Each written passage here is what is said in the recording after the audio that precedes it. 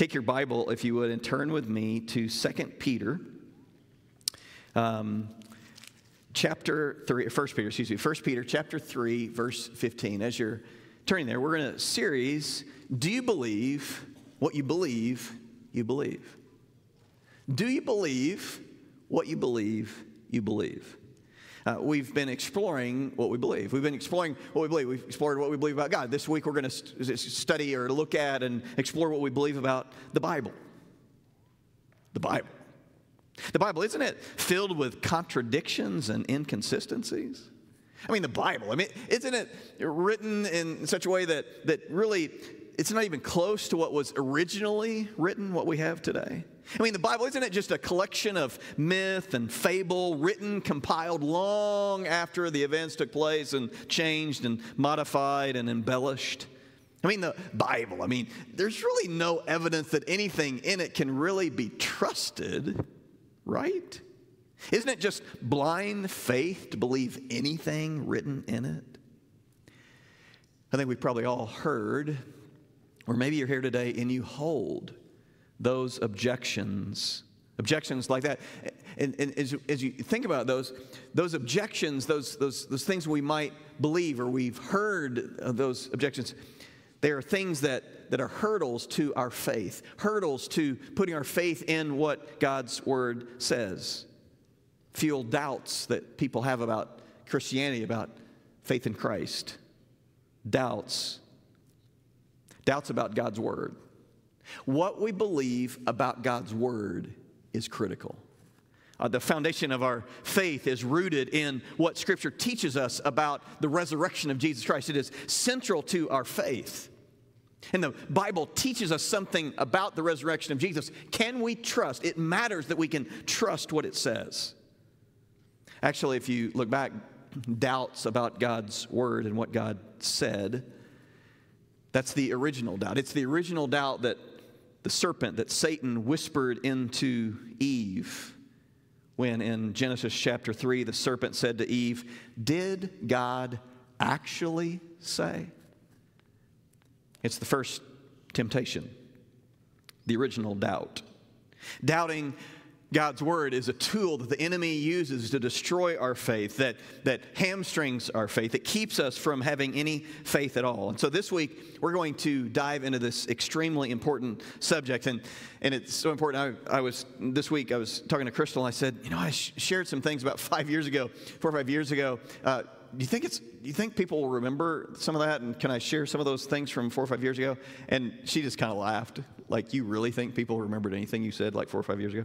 Uh, so just know that uh, i'm going to share some things that i shared. I, I, I, could count on one hand. I think probably the times i've done that since in the 17 years i've been here but the, some of the things are so critical to what we believe about scripture that they bear repeating. And there's a story too that i want to share with you that really helps to illustrate what we're talking about today. I, as last week, I want to give you some resources to, that can help you go deeper if you want to go deeper. And uh, one that I shared last week, Norman, Norman Geiser, Geisler wrote a book, I Don't Have Enough Faith to Be an Atheist. Great book. Encourage you to read that. Also, uh, J. Warner Wallace wrote Cold Case Christianity. It's also a podcast, two great resources. And then, of course, Lee Strobel wrote The Case for Faith, Case for Christ. Uh, the Case for Christ, in particular, will uh, will uh, talk about some of the things that we will talk about today. Let me remind you of the scripture that is really the foundational kind of reason why we want to talk about some of the things in this series. Do you believe what you believe you believe? Found in 1 Peter chapter 3 verse 15. But in your hearts honor Christ the Lord as holy. Always be prepared to make a defense to anyone who asks you for a reason for the hope that is in you. Yet do it with gentleness and respect and so, my prayer as we explore God's Word is if you are here today and you know someone that has some doubts about Scripture, that you can be encouraged today, that you can be given some handles today so that you can share the hope that you have found that rests on the solid foundation of God's Word. Or maybe, secondly, you're here today and you're really struggling with what is going on in your life. There's some things happening. And today, as you listen, to, as we talk about God's Word, you can just be reminded that you can trust God's Word, God's love letter to you. So when you read its words and you hear what it has to say, that it is God's message message, His word to you to encourage you through whatever difficulty you're going through, you can trust this word. Or maybe you're here today and God's been working in your life. And one of the things that you have struggled to cross that line of faith and put your faith fully in Jesus Christ as your Savior because you've had, had doubts about God's Word. Can I actually really trust God's Word? And so today, my prayer is by the Spirit of God that that doubt will be removed. And today, that you can make it that decision as the Spirit moves in you to cross that line of faith and put your faith in Jesus Christ. The year was 1932. It was in the midst of the Great Depression that was impacting all areas of American life, including the great American pastime of professional baseball.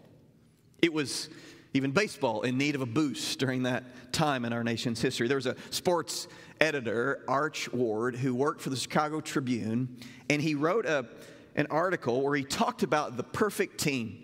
He wrote this article where he, he just kind of just kind of was thinking what, what would it look like to have the perfect team from the American League and the perfect team from the National League? Who would be on those teams? And so, as a result of Arch Ward's column in the Chicago Tribune, a firestorm of discussion across the nation ensued. Knowing that the mayor of Chicago was trying to do something special in connection with the World's Fair that was happening in Chicago in 1933, an idea was born. What if we played a game where the best of the American League and the best of the National League came together in what was going to be the first all star game? And what if they played one another? And so that game was planned for 1933.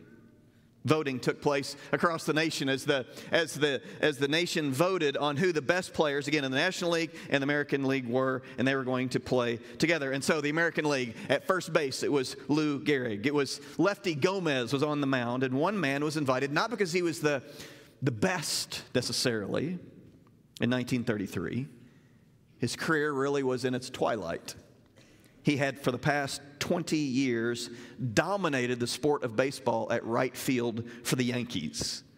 None other than Babe Ruth, the Sultan of SWAT, the great Bambino, and he was chosen to play right field. He was out of shape, past his prime, but his name recognition helped draw the sellout crowd to Comiskey Park in Chicago. And so the idea of the first All Star game was born. It was 1933. At the same time, Chris and I had met a pastor on California several years ago, and his grandmother worked at J.C. Penney in behind the counter in Chicago, and she was courting. Everybody know what courting is? She was courting a man that worked in lived in Gary, Indiana, and he loved baseball. And so she decided to get him them tickets to this all star baseball game. Now, she couldn't afford the tickets behind home plate, she could only afford the dollar and 10 cent tickets, right field, lower deck. And so they went to that first all Star game in 1933. Babe Ruth would come up in the second inning. He would strike out. He would miss the ball so badly that he almost fell down, had to right himself by, by falling onto his pad, hanging onto his bat. He came back up in the third inning. By this time, Hallahan was pitching, and the jury is still out whether he served one up to the Babe or whether he was trying really to get a fastball past him. But Babe Ruth connects with the ball and it rockets its way to right field. 48,000 people jump to their feet. This pastor's grandparents leap to their feet. His grandfather, the ball as it comes towards them, grazes his fingertips, falls to the ground. The scrum ensues, and as a result, he comes up with that baseball. Now, that night, they tried to go down and get Babe Ruth's signature. They weren't able to. But they decide that they're going to go back two weeks later and they get tickets behind the visiting the yankees were going to be in chicago. And so they get tickets behind the visiting uh, the visiting players bench. And they are able to two weeks later to get babe ruth's signature on the ball. Here's a picture of that baseball. The first home run in an all-star game hit by babe ruth in 1933 at comiskey park. Now his grandparents had passed and his parents had fallen on hard times. And so they decide as a family that maybe they should sell this ball. And so uh, this pastor that I met, he he decides he's going to call around to see some collectors and to see, as he tells them the story, what what what he might be able to get for the ball. And so as he tells them about this ball, they want to know the story of how he acquires the ball. And he tells them the story, and and they ask, well, do you have any evidence? And his reply is, well. Uh, no, I mean, this is my family's story. So, well, there's other stories. There's actually a story of, of a man who paid a dollar to a kid to go uh, to, the, to the person who caught the ball, and he bought it from that person for a dollar, and that family claims to have the ball today.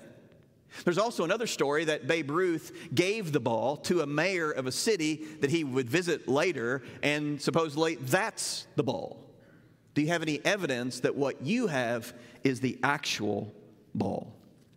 So, well, no, but again, this is my family. I've listened to my grandparents growing up tell this story over and over. This is my grandparents. I trust my grandparents. They, th- this is the ball. The collectors, well, kid, you've got a good story, but without any proof, without any evidence, it's just a good story. So, the baseball is probably worth eight to ten thousand dollars. A Babe Ruth signed baseball of that era, maybe eight to ten thousand dollars. There's a lot of people with good stories. That's about all it's worth. So hold that thought. We'll come back to it. So, do we have anything when we think about God's word besides just a good story? Is it just a story of God's love for us? Is it just a document that that supposedly points us to himself, that, that is this document that, that is a path in its pages of how we can connect with him through the person of Jesus Christ? Is all we have just a good story? Do we have answers to these doubts that so many people that we know, we've heard, we've experienced, or maybe we even hold as we sit here today? Do we have anything to say, or is it just a good story? So glad you asked. Now, if you were going to go into a court of law and you were defending yourself, you would have the right to be able to speak. And so, what does the Bible, as we think about some of the evidences of what maybe the Bible would say about itself, what's the testimony from the Bible? What does Scripture say about itself? 2 Timothy chapter 3, verse 14, Paul's writing to young Timothy, Timothy, he says this, But as for you, Timothy, continue in what you've learned and have, and have firmly believed knowing from whom you've learned it, and how from a childhood you've been acquainted with the sacred writings, which are able to make you wise for salvation through faith in Christ Jesus. All scripture is breathed out by God and profitable for teaching, for reproof, for correction, and for training in righteousness, that the man of God may be complete, equipped for every good work. He says, Paul does to Timothy, continue in what you've learned, what you've learned from Scripture, what's been passed down from you in these sacred writings writings that Paul, when he describes it, have the power, he says, to, to make you wise for salvation through faith in Christ. And then he, he, he says in that next verse something that it's like Paul was like coining a phrase that we don't find in other ancient, in ancient literature. It's that phrase that's been translated that all scripture is breathed out by God, that it is the breath of God. The very breath of God. And so we think about what does Scripture have to say about itself? What's the foundation of biblical reliability, the authority of Scripture? We see one of the things, one of the evidences is its internal evidence. What Scripture says about itself is that it is the Word of God. It is the breath. It is the breath of God. 394 times the Old Testament refers to Scripture as the Word of God. And then what about Jesus? How did Jesus view Scripture? There's several places where Jesus talks about Scripture, but let me just uh, grab a few. Luke 24, verse 44, and then he, Jesus, says to them, These are my words that I spoke to you while I was still with you, that everything written about me in the law of Moses and the prophets and the Psalms, so he's talking about the Old Testament, must be fulfilled. So Jesus, when he's talking about these major sections of Scripture, he says all of what it says must be fulfilled. The Bible has authority, its words are true, its words will come to pass just as it says. He says, basically that same idea in Matthew 5 18. For truly I say to you, until heaven and earth pass away, not an iota, not a dot will pass from the law until all is accomplished. Again, everything that you see written in Scripture will come to pass. These are the supernatural words of God. So, there's internal evidence. It's the way Scripture frames itself. It's the way Jesus frames Scripture, how Jesus views Scripture. I said this a few weeks ago when we talked about how Jesus viewed the story of Jonah.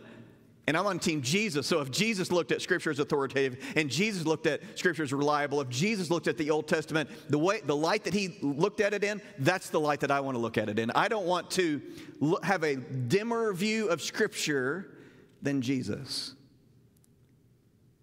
I want to have the same view he has. How did Jesus frame it? It's part of that internal evidence where we understand biblical reliability that it's more than just a good story. But this internal evidence, what the Bible says it's about itself, what Jesus says about Scripture, we have to recognize that that is a circular argument, so there's got to be more to it than that. What, what the Bible says about itself. Also, we see the internal evidence, and we could talk about prophecy. Prophecy is, uh, and there's different types of prophecy, but part of prophecy is when, when Scripture says something that will take place, will actually happen in the future. So before it happens, Scripture says it's going to happen. And then we see prophecy fulfilled when it actually comes to pass, and we see that in Scripture. Listen to the passage that the prophet Micah wrote 700 years before the time of Christ where he prophesied the exact town where Jesus, the Messiah, would be born. Micah 5 2, but you, O Bethlehem, who are too little to be among the clans of Judah, for you shall come forth for me one who is to be ruler in Israel, whose coming forth is from old, from ancient days. Or the fulfilled prophecy that we see from the prophet Isaiah, written some 800 plus years before the time of Christ, where the prophet Isaiah, across the chapters of the prophecies of Isaiah, he foretold that uh, Jesus would be born of a virgin, that he would come from the house of David, that he would be spit on, that he would be struck, that he would be disfigured by suffering, that he would be rejected, that he would bear our sins and sorrows, that he would make atonement for the people with his sin, that he would die with transgressors, thieves. Remember the cross? He had thieves on each side of him. He would be buried in a rich man's tomb tomb. It's kind of hard to determine who, where you're going to be buried. Anyway, on and on and on. Written hundreds of years before. The Dead Sea Scrolls. In 1947, a young shepherd boy came upon some caves, and in those caves, he found some fragments, old tattered fragments that he went into town and he sold some pieces and then people realized wow these are authentic where did you get these and so in the area of qumran in, along the shores of the Dead Sea, they found caves that housed scrolls that were thousands of years old, uh, some dated some 200 years before the time of Christ. The book of Isaiah they found in its entirety. So, those prophecies that were written 800 years before the time of Christ, there's a, there's a scroll of the entire book of Isaiah. It's 24 foot long and that entire scroll that has all of those prophecies is written and it's been dated to 200 years before the time of Christ. So someone might say, well, those prophecies were written after the time of Jesus, and then they, they looked at Jesus' life, and then they, they wrote these things. The Bible's not that old until you actually look at the evidence and you see that it is that old. Some of us have been to Israel, and you've been to Qumran, and you've seen the caves. You've seen it hundreds of years before the time of Christ, and Jesus fulfills these prophecies perfectly. There's also a scroll that contains the prophet Micah and what he had to say about where Jesus would be born. Every Old Testament book was found in those caves that was written hundreds of years before the time of Christ, except Esther. That was the one book that was not found in the caves. And we have scores of other prophecies in the Old Testament fulfilled in Christ. Conservatively, there are 300 plus prophecies, all fulfilled by Jesus, all pointing to Jesus supernaturally that God's word is true. It's prophecies fulfilled. Great place for an amen. Another thing that we could talk about is the historical accuracy of Scripture, of what is the archaeological evidence What, how does that point to the authenticity, the reliability of Scripture? This, this Scripture that we have written over 1,500 years, 66 different books that are compiled in the Bible, 40 different authors written in three different languages Hebrew, Aramaic, and Greek, over three continents Europe and Asia and Africa, all coming together into one seamless story of God's love, His plan of redemption, this great meta narrative of God's God's love for us. And so in Scripture, it's not just generic. We see, we see names of cities and rulers and historic events and dates and names of kingdoms and battles, detail that if it were a work of fiction, you could see any number of errors and inconsistencies and things were just flat out wrong.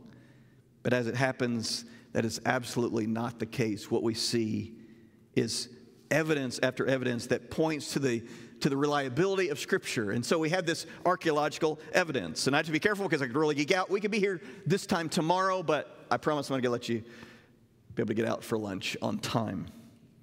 One of the, one of the things that we could talk about is how people used to say, well, there's no record of David in the Old Testament. That, that David character in the Old Testament, there's actually no record of him in the archaeological evidence or archaeological record. There's nothing it talks about David. He's, he's made up. He's a made up figure until the 1990s in what is called the Tel Dan inscription written in, ni- in the 9th century BC that talks about a battle where they overcame the house of David.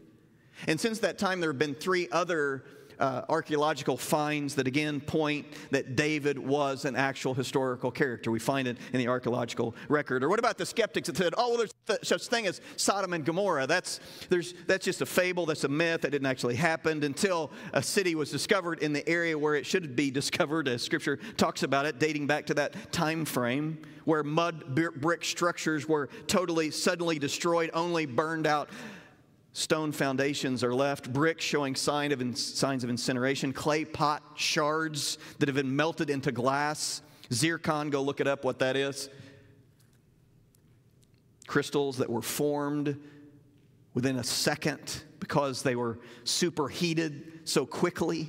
Ash and debris, a meter plus thick. Can you think of a story in Scripture that that all of that would fit?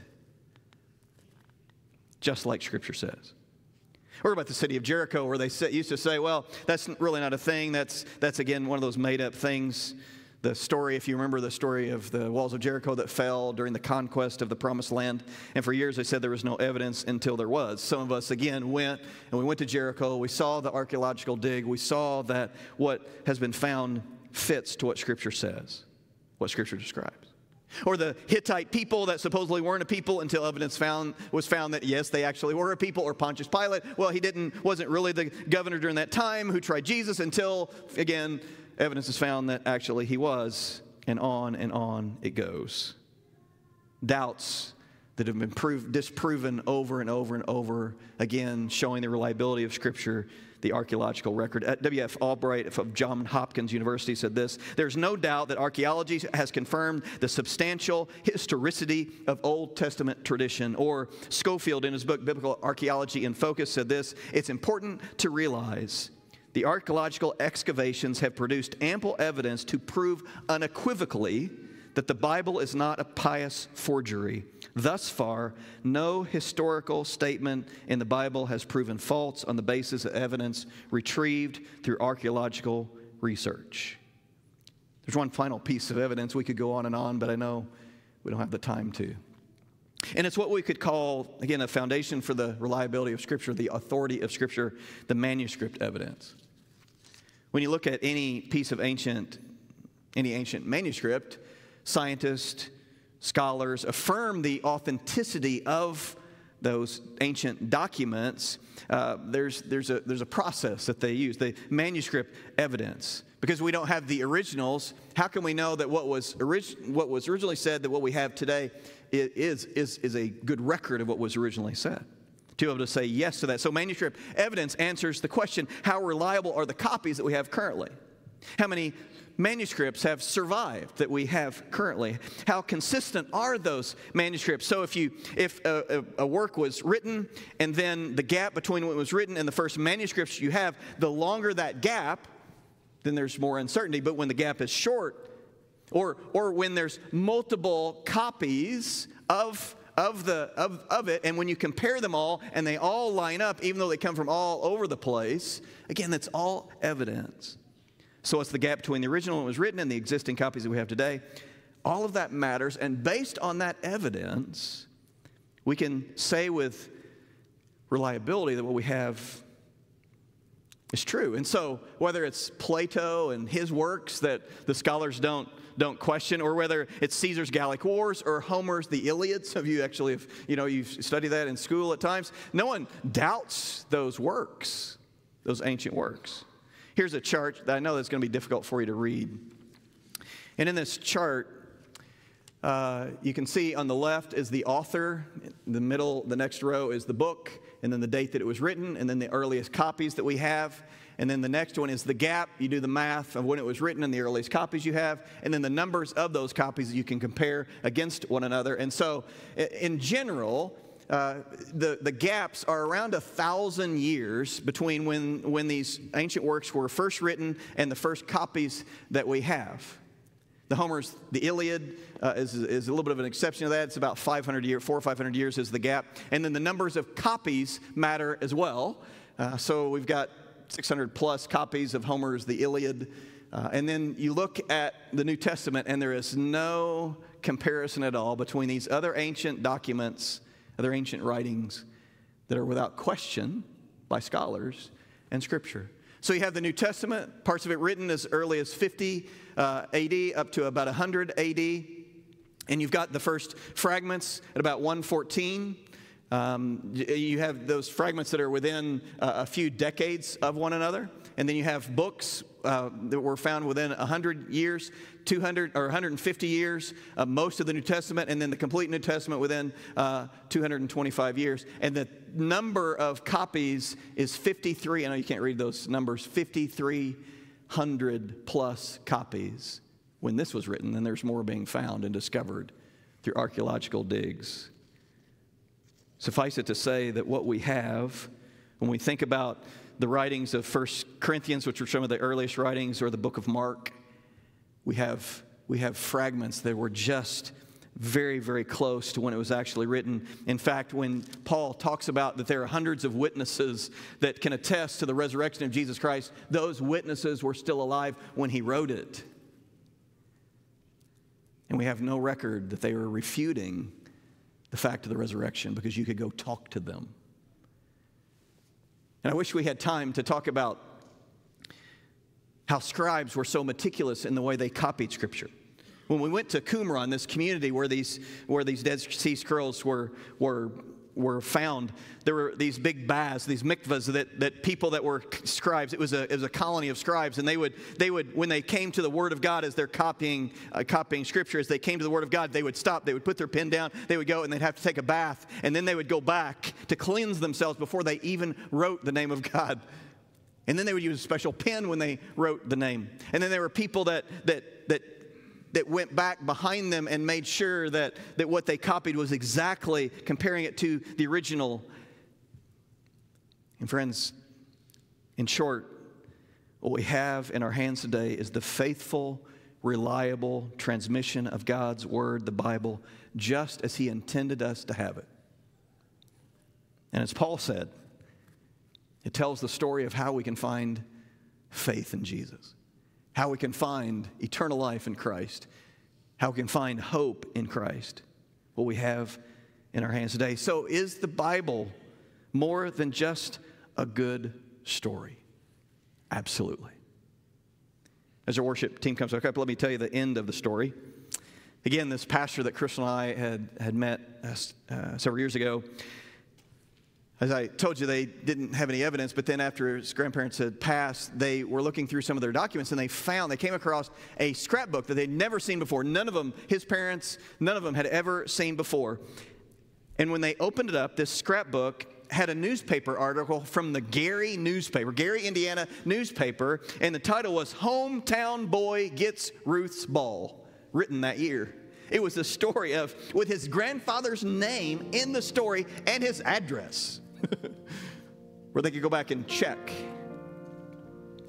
and how he ends up, the story of how he ends up with the ball. There were ticket stubs from the game that they found in the scrapbook, and there was a document that was notarized that has the story, and I have pictures of those documents. These are the documents that they found. And so they excitedly called back. They called Cooperstown, where the All Star, uh, where the oh, I'm sorry, where the or, uh, Hall of Fame is. And he called some auction houses and some other collectors, and he said, "Here's what I've got." And he sent pictures of of the documents. They got calls back immediately. It, you didn't tell us you had this evidence. This changes everything. So no longer, oh, it's a good story, kid, but there's lots of good stories. No, this is different because you have evidence. And so they put it up for auction at an all star game several years ago. This is what the auction house put in the publication that they put out about this ball. There are three pieces of paper that go with this ball ticket stubs, newspaper clippings, and a signed affidavit notarizing the account of the story. And then they said this simple, incredible rarity, which is without question the most documented vintage home run baseball of significance ever to be seen, held, or offered at public auction worth eight to ten thousand dollars as a Ruth signed baseball from the era with a good story but none of the evidence. And now with the evidence, the bidding started at the auction of fifty thousand dollars. There were 13 people in the room, other people on the phone, people bidding. It ended up selling for eight hundred and five thousand dollars. And when we think of God's word, do we have doubts? On its own, it's just a story but there's solid, reasonable evidence that support the reliability that its truth is priceless. It's able to point us to eternal life. It's able to point us to salvation in Jesus, evidence that is so much more than just a good story. It's a reliable foundation of our faith that should not be the uncertain foundation of our doubts. It is the story, as Paul said, that makes us wise unto salvation through faith in Jesus. So, are you here today, believers? And you know somebody that's doubting Scripture. I hope that I've given you just a little bit to help you to be ready to share the hope that you have found in Christ based on God's Word. Maybe you're here today, and again, you're struggling, and there's stuff going on, and you're struggling so bad that a lot of probably what I've said today has been blah, blah, blah, blah, blah, blah, blah. Hear this. God's word is true. It's his love letter to you. And I don't know what you're going through, but he loves you. He cares for you. His word to you is true. And when he says he will never leave you, never forsake you, when he says he'll walk with you through the valley of the shadow of death, whatever he says in his word is true and will come to pass. He is coming again. So I don't know what you're going through, but be encouraged today. And then finally, if you are here and you've had objections to faith, you've struggled with doubts and you've struggled to overcome is God real? Is scripture true? Can I really believe it? Can can I put my life on, on the line and, and give my life to this? I would say to you, absolutely. So let the Spirit of God remove the stone of doubt out of your way today, of, of doubt around God's word, and believe that this is His word, His truth for you. The path of salvation comes through the person of Jesus Christ. He loves you. And as I pray for you today, I would invite you to invite Him to be your Savior. Father, as we conclude today, God, I pray that you would that you would just encourage us as we think about your word, the miraculous truth of your word, God. It is so amazing, unlike any other document. And God, you have supernaturally kept it for us. And it is what you intended for us to have, to know how to connect with you. Thank you for it. I pray you encouragement for those who are struggling. I pray, Father, for that person today that is making a decision right now to put their faith in you, to invite you to be their Savior, to confess their sin, and then to just invite Jesus, your Son, to be their Savior, to put their faith in you. God, I thank you for saving them. I thank you for what you're doing in lives and hearts and minds right now. Thank you, we pray in Jesus' name.